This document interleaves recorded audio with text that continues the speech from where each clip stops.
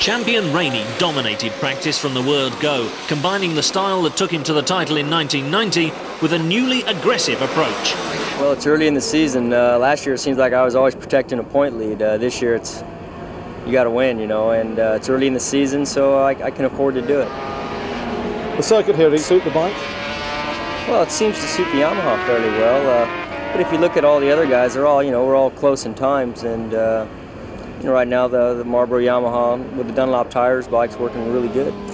You know, Australia, I think the Australians will be a little more pumped up tomorrow, especially since they didn't get pole. So, uh, you know, I expect a tough race. Rainey and the Marlboro Yamaha fastest by nearly three-tenths of a second.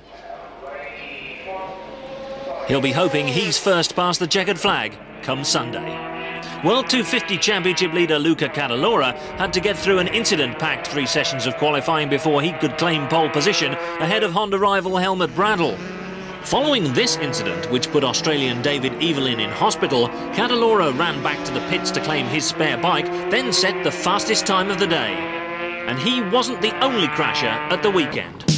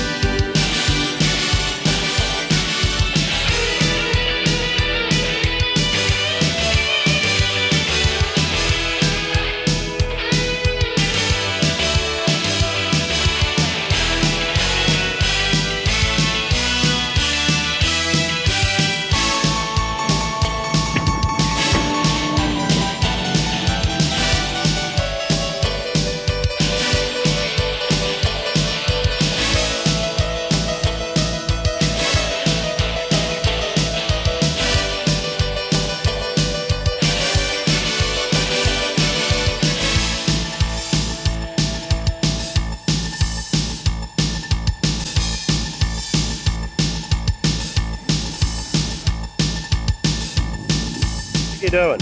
Has to be Gardner, mate. Has to be Gardner. Rainey. Well, no, no, it's not raining. I, I think Gardner's going to win. Rainey. Doohan. What about you? Oh, Mike. I don't know, mate. Wouldn't have a clue. Uh, it's Mick Doohan. Yeah, mate. We're rich. Up the top, guys. Give him the key. Wayne Gardner. Thanks.